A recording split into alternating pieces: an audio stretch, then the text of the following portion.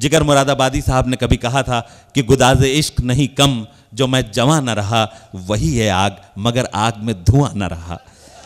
حضرات گرامی حضرات گرامی، میں سب سے پہلے اس کامیاب مشاعرے کے لیے، اس مشاعرے کے روح رواں، اس مشاعرے کو سجانے سوارنے اور تمام جتنے کام ہوتے ہیں مشاعرے کے سلسلے میں، اسے کرنے والے محترم میرے بڑے بھائی جاوید نیر صاحب کو میں مبارکباد پیش کرنا چاہتا ہوں۔ اس طرح نہیں، اگر تالی بجانی ہے تو مل کے ان کے لیے بجا دیجیے۔ میں بہت بہت مبارکباد پیش کرتا ہوں۔ اور یہ مشاعرہ جو کامیابیوں تک پہنچا ہے، اس میں ایک تو عالی مرتبت ڈاکٹر محمود حسین رحمانی صاحب کی معتبر صدارت، اور اس کے علاوہ ہمیں سرپرستی حاصل رہی ہے سابق additional advocate general Uttar Pradesh جناب ظفر مصطفیٰ نیر صاحب کی۔ ہم ان کے بھی شکر گزار ہیں۔ آئیے حضرات، اب اس شخصیت کے حضور مجھے پہنچنا ہے کہ جس کو سننے کے لیے آپ بیٹھے ہوئے ہیں۔ چند جملے میں صرف ادا کرنا چاہتا ہوں جو میرے دل کے ہیں۔ شاعری کی تین سو سالہ روایت میں مختلف لہجوں کی شاعری ہوئی۔ محبوب کے گل و گل و لب و رخسار سے رنگ لے کر بھی شعر تحریر کیے گئے۔ بجائے سیاہی میں قلم ڈبونے کے جام شراب میں قلم ڈبو کر بھی شعر تحریر کیے گئے۔ لیکن ایک ایسا شاعر جس نے ہمارے قومی اور ملی جذبات و احساسات کے مختلف رنگوں کو آب زمزم کے پاکیزہ قطروں میں ملا کر شاعری تحریر کی اور یوں کہا کہ اللہ میرے رزق کی برکت نہ چلی جائے، دو روز سے گھر میں کوئی مہمان نہیں ہے۔ آٹھ کتابوں کے مصنف، دو نثری کتابیں، چھ شعری مجموعے۔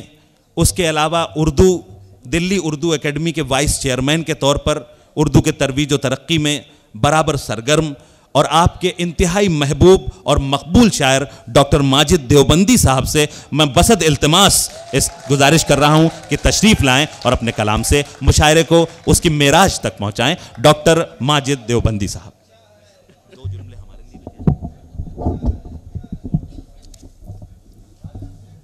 السلام علیکم حضرات۔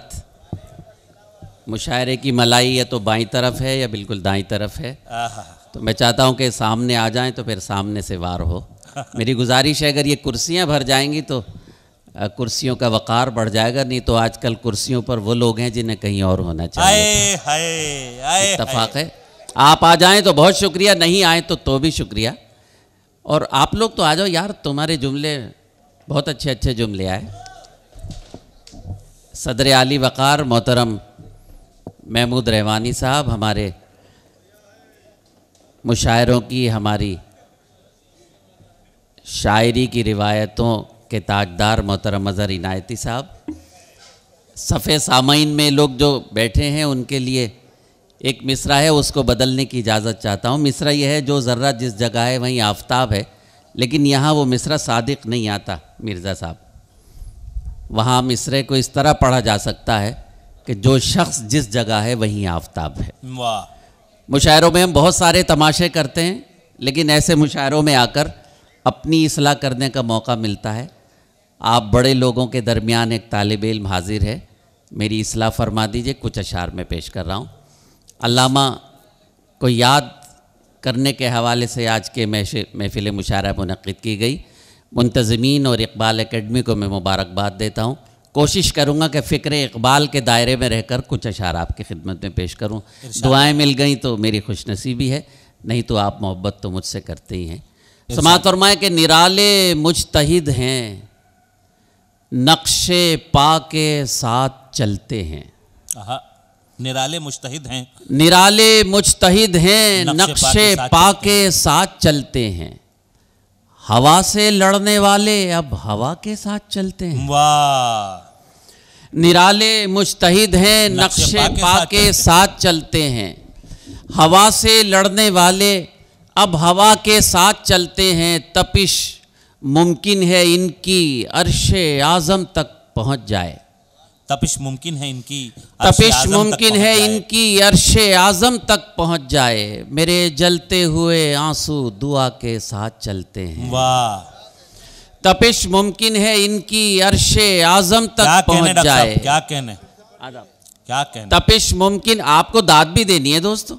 بڑے شاعروں کو تو آپ نے داد دی ایک بچہ بھی ہے۔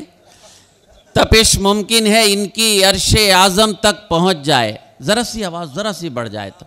تپش ممکن ہے ان کی عرش اعظم تک پہنچ جائے۔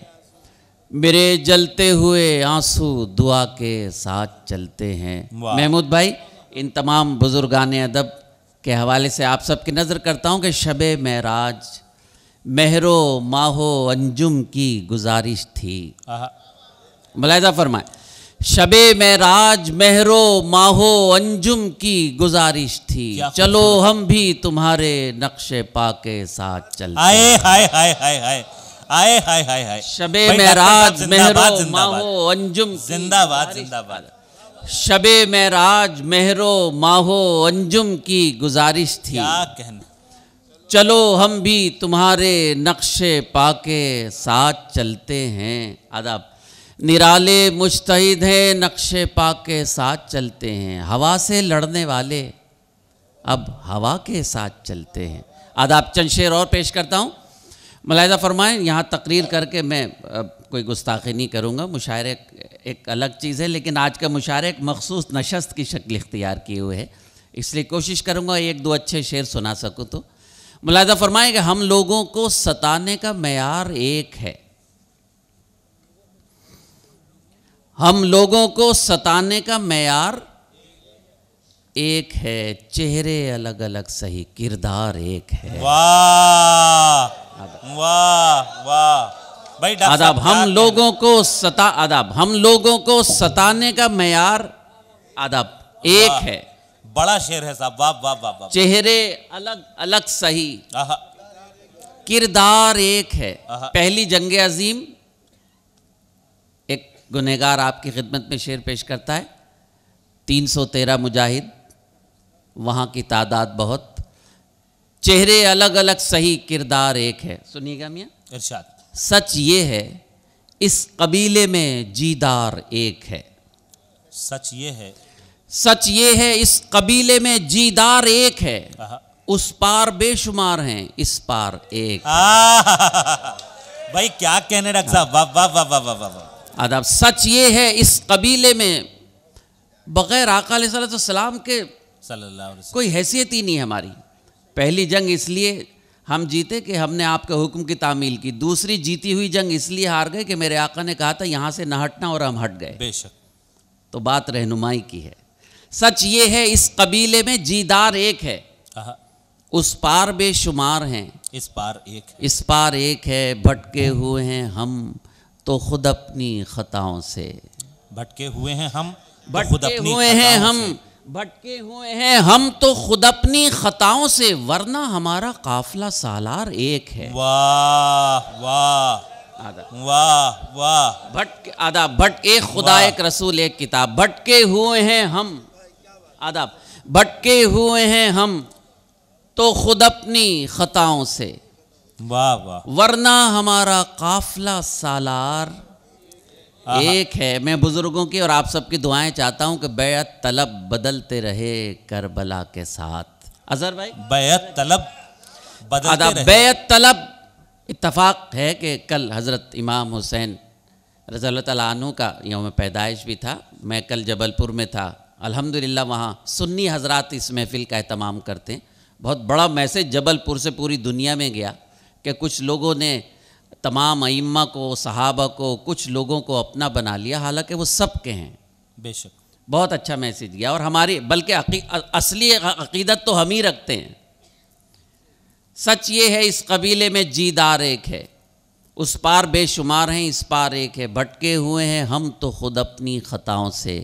ورنہ ہمارا قافلہ سالار ایک ہے۔ بیعت طلب بدلتے رہے۔ کربلا کے ساتھ ملاحظہ فرمائیں بیعت طلب بدلتے رہے بیعت۔ طلب بدلتے رہے کربلا کے ساتھ۔ اپنی جگہ حسین کا انکار ایک ہے۔ بھائی بہت اچھا ہے بہت اچھا ہے۔ طلب بدلتے رہے کربلا کے ساتھ۔ پوری کربلا کی تاریخ دو بیعت طلب سبحان اللہ، بدل سبحان آداب بیعت طلب بدلتے رہے کربلا کے ساتھ۔ کیا کہنا اپنی جگہ حسین کا انکار ایک ہے۔ بھٹکے ہوئے ہیں ہم تو خود اپنی خطاؤں سے۔ بھٹکے ہم۔ ورنہ ہمارا قافلہ سالار۔ ایک ہے۔ اجازت ہو تو تین شعر اور تحت میں اس کے بعد ترنم سے۔ ملاحظہ فرمائیں پیش کرتا ہوں کہ جہاں سے اپنے غموں کو چھپا کے رکھا ہے۔ جہاں سے اپنے غموں کو چھپا کے رکھا ہے۔ وقار ہم نے ہمیشہ بنا کے رکھا ہے۔ واہ۔ جہاں سے اپنے غموں کو چھپا کے رکھا ہے۔ وقار ہم نے ہمیشہ بنا کے رکھا ہے۔ بشر تو کیا ہے؟ فرشتے بھی رو پڑے سن کر۔ یہ کس کا سر ہے جو نیزے پہ لا کے رکھا سبحان اللہ سبحان اللہ۔ بشر تو کیا ہے؟ فرشتے بھی رو پڑے سن کر۔ آداب بشر تو کیا ہے؟ فرشتے بھی رو پڑے سن کر۔ یہ کس کا سر ہے جو نیزے پہ لا کے رکھا ہے؟ اقبال اکیڈمی کے تمام ذمہ داران سرپرستوں کی نظر یہ شعر۔ ڈاکٹر صاحب سماعت فرمائیں۔ یہ کس کا سر ہے جو نیزے پہ لا کے رکھا ہے؟ مجھے یقین ہے بجھا ہی نہیں سکے گا کوئی۔ مجھے یقین ہے۔ مجھے یقین ہے بجھا ہی نہیں سکے گا کوئی۔ چراغ ہم نے ہوا میں جلا کے رکھا ہے۔ واہ واہ۔ مجھے یقین ہے بجھا ہی نہیں سکے گا کوئی۔ چراغ ہم نے ہوا میں جلا کے رکھا ہے۔ بشر تو کیا ہے فرشتے بھی رو پڑے سن کر۔ یہ کس کا سر ہے جو نیزے پہ لا کے رکھا ہے۔ بڑی محبت آپ نے اپنے خادم کو دی۔ ہمارے کچھ احباب جہان آباد سے بھی آئے ہیں مودا سے بھی آئے ہیں قرب و جوار سے بھی آئے ہیں۔ یہ اردو کی محبت کی کشش ہے۔ اور یہ جو بیچ میں صحافیوں کا حلقہ ہے، یہ تو ماشاءاللہ اللہ سلامت رکھے، اگر ان کی تعریف نہ کی جائے تو شاید بےمانہ ہوگا۔ واقعتاً آپ کی تعریف کرنی چاہیے۔ اس لیے کہ آج کچھ لوگ تو صحافت میں پوچھتے ہیں، پی ایم ہاؤس سے کہ ہمیں کیا بولنا ہے، کیا لکھنا ہے۔ وہاں آدمی سچ بولنے کی ہمت کرے تو بہت بڑی بات۔ ہے میں کچھ شعر آپ کی نظر کرتا ہوں، ترنم سے پڑھنا چاہتا ہوں۔ ملاحظہ فرمائی یہ غزل آپ تک پہنچی نہیں ہوگی۔ لیکن انشاءاللہ فکر اقبال کے دائرے میں ہی رہ کر کوشش کروں گا۔ آج جب کسی انسان میں آ جاتی ہے۔ آج جب کسی انسان اور اچھا کرو میں۔ ذرا سا۔ سو مت تھوڑا مائک اچھا کر دو بڑھا دو آواز تھوڑا۔ آج جب کسی انسان میں آ جاتی ہے۔ آج جب کسی انسان میں آ جاتی ہے رب کی تائید بھی پہچان میں آ جاتی ہے۔ رب کی تائید بھی پہچان میں آ جاتی ہے۔ بہت شکریہ آپ جیسے بھی سنیں آپ کی محبت۔ اتنے بڑے لوگوں کے درمیان ایک جملہ کہنے کی جسارت کر رہا ہوں۔ چودہ سو سال میں اس موضوع پر کوئی شعر اب تک نہیں کہا گیا۔ اللہ تعالیٰ نے مجھے عطا کر دیا۔ شعر کہنا تو میں جانتا نہیں۔ دوستو، نوجوانوں، ایک عورت تھی ہندہ جس نے سید و شہدہ حضرت حمزہ کا کلیجہ چبایا تھا۔ جب وہ ایمان لے آئی تو میرے سرکار نے اسے معاف کر دیا۔ بس یہ کہا کہ تم میرے سامنے نہ آیا کرو، مجھے چچا یاد آ جاتے ہیں۔ رب کی تائید بھی پہچان میں آ جاتی ہے۔ سنو میاں بہت اچھی نظامت آپ نے کی۔ اللہ آپ کو خوش رکھے۔ ایک لمحے میں اسے بخش دیا آقا نے اگر سچ بولوں تو مجھے آپ کی دعائیں چاہیے۔ ایک لمحے میں اسے بخش دیا آقا نے ہندہ جب حلقہ ایمان میں آ جاتی۔ بھائی ہے واہ واہ واہ واہ واہ واہ واہ واہ واہ واہ واہ واہ آداب واہ بڑی واہ عنایت۔ اللہ دعائیں کرنے والوں کو سلامت رکھے بڑی عنایت ایک لمحے میں اسے بخش دیا آقا نے ہندہ جب حلقہ ایمان میں آ جاتی ہے رب کی تائید بھی پہچان میں آ جاتی ہے۔ سماعت فرمائیں۔ چار سال مرکزی حکومت کو ہو گئے۔ حکومتیں تو آتی رہتی ہیں، جاتی رہتی ہیں، لیکن ہمارا معاملہ یہ ہے کہ ہم صرف صرف اور صرف دوسروں کو برائیاں دیتے ہیں۔ اپنے دامن میں نہیں جھانکتے، میں گنہگار ہوں، میں اپنا احتساب کرنے کی کوشش کرتا ہوں۔ ملاحظہ فرمائے، واضح طور پر اللہ نے فرما دیا قرآن کریم میں کہ جو تمہارے گناہ، عیاشیاں، زنا جب بہت بڑھ جائے گا تو میں تم پر ظالم بادشاہ مسلط کر دوں گا۔ ہم دوسروں سے شکایتیں کرتے ہیں، میں شکایت نہیں کرتا، میں تو اپنی اصلاح کی کوشش کرتا ہوں۔ رب کی تائید بھی پہچان۔ ایک آدھ فوٹو آپ بھی کھینچ دیجیے ہمارا۔ گھر بتانا پڑتا ہے کس کس شہر میں گئے تھے مشاعرے میں، سچ ہے کہ نہیں؟ اس لیے میں نے ایک لمحے میں اسے بخش دیا قانے ہند جب حلقہ ایمان میں آ جاتی کر دیا جاتا ہے۔ ملاحظہ فرمائے دوست کر دیا جاتا ہے ظالم کو مسلط اس پر۔ سماعت فرمائے ڈاکٹر کر دیا جاتا ہے ظالم کو مسلط اس پر گمراہی جب بھی مسلمان میں آ جاتی ہے گمراہی اور اچھا شیر کر دیا جاتا ہے ظالم کو مسلط اس پر آداب کر دیا جاتا ہے۔ ظالم کو مسلط اس پر۔ گمراہی جب بھی مسلمان میں آ جاتی ہے۔ رب کی تائید بھی پہچان میں آ جاتی ہے۔ انشاءاللہ ماہ رمضان المبارک بیس پچیس دن میں آنے والے۔ اس حوالے سے ایک شعر آپ کی نظر کرتا ہوں۔ ڈاکٹر صاحب سماعت فرمائیں۔ ارشاد۔ جسم کمزور ہو کتنا بھی کسی مومن کا۔ جسم کمزور ہو کتنا بھی کسی مومن کا۔ جسم کمزور ہو کتنا بھی کسی مومن کا۔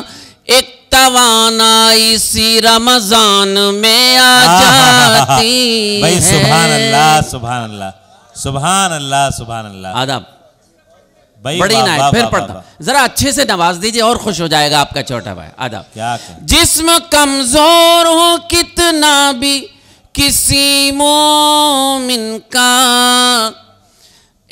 توانائی اسی رمضان میں آ جاتی ہے۔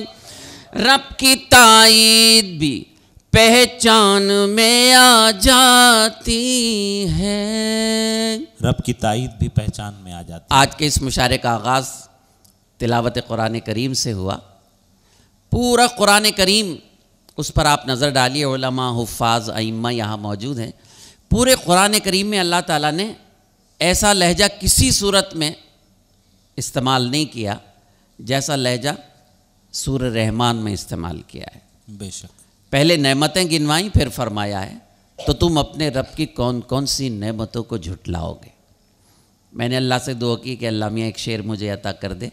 اللہ نے ایک شعر عطا کر دیا۔ ملاحظہ فرمائے رب کی تائید بھی پہچان میں آ جاتی ہے۔ اپنے بندوں کو تباہی سے بچانے کے لیے۔ ملاحظہ فرمائیں۔ آداب۔ اپنے بندوں کو تباہی سے بچانے کے لیے آگہی سورہ رحمان میں آ جاتی ہے۔ آگہی سورہ رحمان میں آ جاتی ہے۔ رب کی تائید بھی پہچان میں آ جاتی ہے۔ بہت بہت شکریہ۔ جو غزل کے متوالے ہیں، غزل کے رومانی لہجے کو پسند کرتے ہیں، انہیں مجھ سے شکایت رہتی ہے کہ میں مشاعروں میں کیا لے کر آ گیا۔ لیکن کیا ہر شاعر کا جھوٹ بولنا ضروری ہے؟ پوری غزل کی تاریخ اٹھا کر دیکھ لیجیے، محبوب نے زلف بکھیری اور بارش ہونے لگی۔ محبوب نے ذرا خوبصورت آنکھیں ہماری طرف کی تو ایک دم میں خانہ بن گیا، وغیرہ وغیرہ۔ لیکن بہرحال رومانیت ایک لہجہ ہے غزل کا۔ لیکن مجھے اللہ نے توفیق دی ہے تو میں کوشش کرتا ہوں، میں تو یہ کہتا ہوں۔ رب کی تائید بھی پہچان میں آ جاتی ہے، غیب سے میری مدد کے لیے آتا ہے کوئی۔ غیب سے میری مدد کے لیے آج کے صدر۔ مشارہ محمود رحمانی یہ دوسری زندگی والے محمود رحمانی ہمیں ملے۔ یہ ہر سال جاتے ہیں اور ماہ رمضان میں عمرے کے لیے۔ ایک بار چلے گئے تھے پھر اللہ نے انہیں دوبارہ ہمارے لیے بھیجا۔ ہماری خوش نصیبی ہے۔ آپ کی نظر کرتا ہوں۔ غیب سے میری مدد کے لیے آتا ہے کوئی۔ جب بھی کشتی میری طوفان میں آ جاتی ہے۔ بھائی ڈاکٹر صاحب کیا کہنے کیا کہنے؟ جب بھی کش بہت شکریہ۔ کیا کہنے؟ غیب سے میری مدد کے لیے آتا ہے کوئی۔ جب بھی کشتی میری طوفان میں آ جاتی ہے۔ یہ شعر ڈاکٹر ماجد دیوبندی ہی کہہ سکتے ہیں۔ صاحب سبحان۔ اللہ سبحان اللہ نے عطا کر دیا۔ رب کی تائید بھی پہچان میں آ جاتی ہے۔ جمیل خیر آبادی ہمارے دوست بیٹھے ہیں۔ ترنم پڑھ کے گئیں۔ کانپور کی نمائندگی الحمدللہ یہ پوری دنیا میں کرتے ہیں۔ میں ان دوستوں کے آپ سب کے حوالے سے آخری شعر پیش کرتا ہوں۔ دل سے پڑھتا ہے کوئی سورہ یاسین تو پھر دل سے پڑھتا ہے کوئی سورہ یاسین تو پھر۔ صحیح ہے نا میں اقبال اکیڈمی کے پروگرام میں غزل پڑھ رہا ہوں۔ بے شک بے شک۔ آداب۔ دل سے پڑھتا ہے کوئی سورہ یاسین تو پھر۔ روشنی ایک نئی بے جان میں آ جاتی واہ، ہے۔ واہ واہ۔ ڈاکٹر صاحب واہ ڈاکٹر صاحب کیا کہنا؟ بڑی سبحان۔ اللہ سبحان اللہ۔ دل سے پڑھتا ہے کوئی سورہ یاسین تو پھر روشنی ایک نئی بے جان میں آ۔ جاتی ہے۔ رب کی تائید بھی پہچان میں آ جاتی ہے۔ غزل کا مقطع۔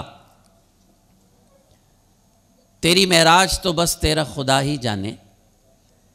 میری معراج کہ میں تیرے قدم تک پہنچا۔ واہ۔ واہ۔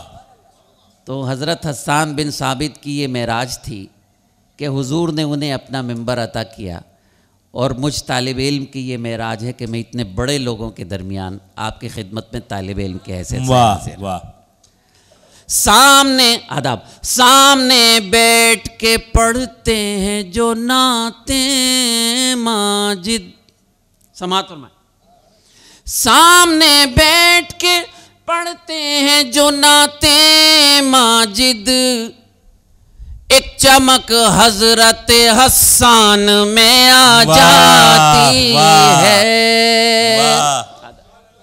ایک چمک ادب سامنے بیٹھ پڑھتے ہیں جو ناتے ماجد۔ ایک چمک حضرت حسان میں آ جاتی ہے۔ آجزی جب کسی انسان میں آ جاتی ہے۔ رب کی تائید بھی پہچان میں آ جاتی ہے۔ بہت شکریہ ابھی کچھ اور آپ ہی کے چاہنے والے ایک دو شعر اور پڑھ کیا؟ ماں والا تو گیت میں نے کوئی نہیں کہا۔ اچھا۔ ہے؟ فی البدی کہہ کے پڑھ دیجیے آپ کے لیے کیا ہے۔ اچھا میں دو تین شعر ایک غزل کے پڑھ دوں۔ مرزا صاحب جائیے گا نا یہ آپ پڑھ تو لیں میں دو تین منٹ کی اور بات۔ اچھے لوگ کہاں نصیب ہوتے ہیں؟ ہمارے ہمارے مشاعروں کا عالمیہ یہ ہے۔ اسیم بھائی کہ ہمیں مشاعروں میں سامعین کے معیار پر مجبوراً اترنا پڑتا ہے۔ لیکن جہاں آپ جیسے سامعین ہو وہاں تو ویسے شاعر کی ہوا خراب رہتی ہے۔ خراب شعر پڑھ ہی نہیں سکتا۔ اپنے اعتبار سے بہتر پڑھتا ہے۔ میں چند شعر آپ کے حکم پر پڑھتا ہوں اس کے بعد اجازت۔ سامان تجارت میرا ایمان نہیں ہے۔ بتائیے سننا چاہتے ہیں نا؟ ذرا دل سے بتا دیجیے گا۔ سامان تجارت میرا ایمان نہیں ہے۔ ہر در پہ جھکے سر یہ میری شان نہیں واہ، ہے۔ واہ۔ ہر در پہ جھکے سر یہ میری شان نہیں ہے۔ ہر لفظ کو سینے میں بسا لو تو بنے ہر بات۔ لفظ کو سینے میں بسا لو تو۔ بنے بات۔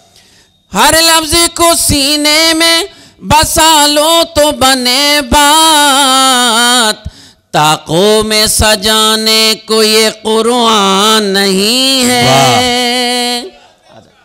تاقوں میں سجانے کو یہ قرآن نہیں ہے۔ ہر در پہ جھکے سر یہ میری شان نہیں ہے۔ آداب۔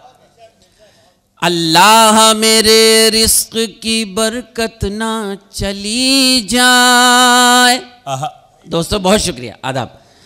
اللہ میرے رزق کی برکت نہ چلی جائے۔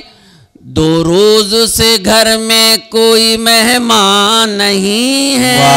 واہ واہ واہ۔ واہ واہ واہ۔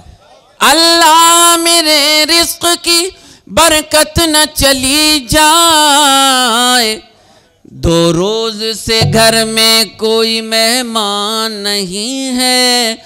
ہر در پہ جھکے سر یہ میری شان نہیں ہے۔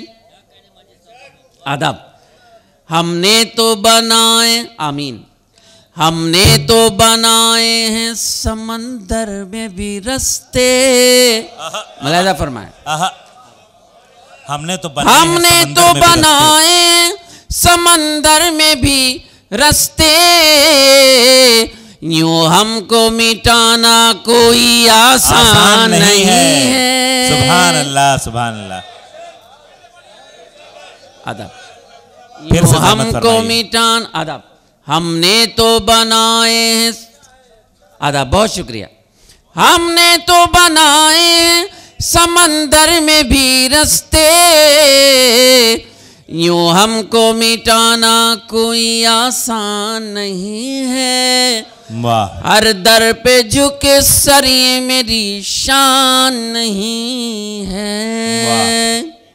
آداب اقبال اکیڈمی کی طرف سے یہ شعر میں آپ سب کی نظر کرتا ہوں اور آپ سب کی طرف سے منتظمین اور ذمہ داران اور سرپرستان اقبال اکیڈمی کی نظر کرتا ہوں یہ شعر۔ کچھ لوگ جو مطالعہ نہیں کرتے، وہ یہ کہتے ہیں کہ فکر پاکستان کے موجد تھے اقبال۔ یہ بالکل جھوٹ ہے۔ اور اقبال تو اٹھائیس میں دنیا سے چلے گئے تھے، پاکستان سینتالیس میں بنا۔ ایک خط ابھی پچھلے ہفتے ڈاکٹر جاوید اقبال کا میری نظر میری نظر سے گزرا۔ جو انہوں نے باقاعدہ لکھا ہے اپنے والد کے بارے میں کہ بارہا ان سے گفتگو ہوتی تھی، بارہا علامہ نے فرمایا کہ تقسیم ہند نہیں ہونی چاہیے۔ اب ہو گئی وہ تو ایک فیصلہ تھا، لیکن پاکستان کے بننے میں اقبال کا کوئی ہاتھ نہیں تھا۔ اقبال جس تصور کی بات کرتے تھے، اس تصور کو ہم نے چھوڑ دیا۔ آج اقبال اکیڈمی کے حوالے سے جملہ میں نے اس لیے عرض کیا کہ ان فرقہ پرستوں کو بتا دیجیے جو کہتے ہیں کہ اقبال پاکستان کے شاعر تھے۔ اقبال پاکستان ہندوستان کے نہیں اقبال عالمین کے شاعر ہیں اور انشاءاللہ قیامت تک عالمین کے شاعر ہیں۔ دو چار امیدوں کے دیے اب بھی ہیں روشن۔ دو چار امیدوں کے دیے اب بھی ہیں روشن۔ دو چار امیدوں کے دیے اب بھی ہیں روشن۔ ماضی کی حویلی ابھی ویران نہیں ہے۔ سبحان اللہ سبحان اللہ۔ بہت شکریہ۔ دو چار امیدوں کے دیے اب بھی ہیں روشن۔ ماضی کی حویلی ابھی ویران نہیں ہے۔ ہر در پہ جھکے سر یہ میری شان نہیں ہے۔ سامان تجارت میرا ایمان نہیں ہے۔ سبحان اللہ۔